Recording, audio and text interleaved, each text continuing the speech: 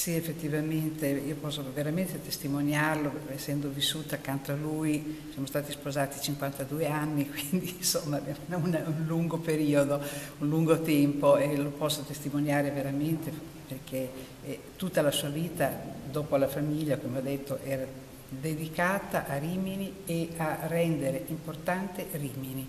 darle un posto nella storia sia della seconda guerra mondiale, ma anche nella storia in generale, nella, storia, nella grande storia che so, su, eh,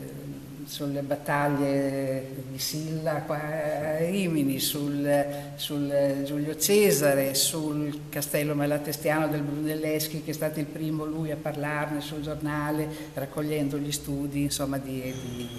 di, di altre persone. Quindi voglio dire, ha sempre cercato di tenere di dare importanza veramente a tutta la storia di Rimini, in tutti i suoi secoli. Grazie.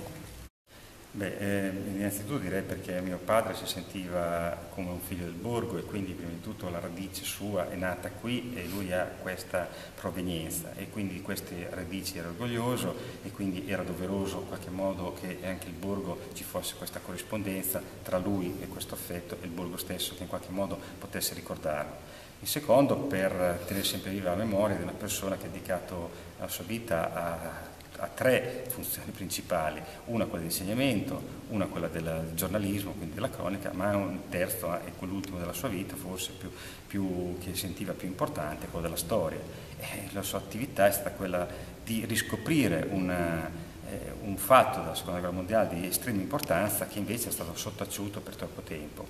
e in questa importanza che lui ha, ha, ha visto nell'evento è nata un po' tutta la sua ricerca storica che è durata decenni e decenni cui, ed è stato diciamo così, probabilmente il primo che ha portato alla luce queste cose e, e che è stato da quel momento un po' riconosciuto come un po' lo storico della gotica.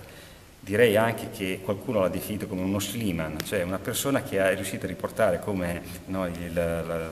eh, Troia, la, città di Troia, è riuscito a, in qualche modo a riportare alla luce un fatto che sembrava sepolto nel tempo.